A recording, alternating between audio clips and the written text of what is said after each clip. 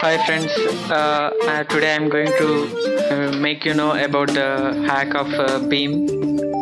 Yeah, in MuTorrents uh, we can get more speeds than the normal speeds. My normal speed uh, downloading speed is uh, 50 50 kbps. As you can see here, it is running about uh, uh, 40 to 60. It is now 55.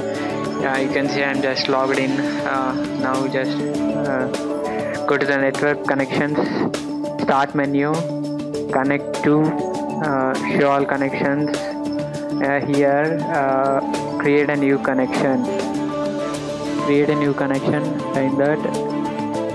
New connection wizard. Next uh, the first option only. Connect to the connect to the internet. Then next set up my connection manually. And then uh, the second option connect to a broadband connection that requires username and password. Yeah then next. ISP name just give uh, B A M H A C K B hack yeah next. Username and password as given by as given as given by Beam click on the next option add a, add a shortcut to the desktop. Yeah you can see uh, the shortcut has been added.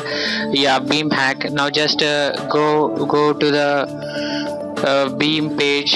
Yeah here uh, we can uh, you, you can see this uh, ip address 124 uh, something. Now just log it out log out. Click on the connection in on which you have created just now created connect. Yeah it is connecting. Uh, yeah it is uh, it is connected using beam hack. Yeah you can see here beam hack is now connected. Torrents. Now just observe the speed. It will be rising it is 65 75 80 and then 90 91 99 90, 107 112 118 131 144 and 149 153 154 156 159 yeah it will be more at the night time. Yeah it is 153 now. 151 158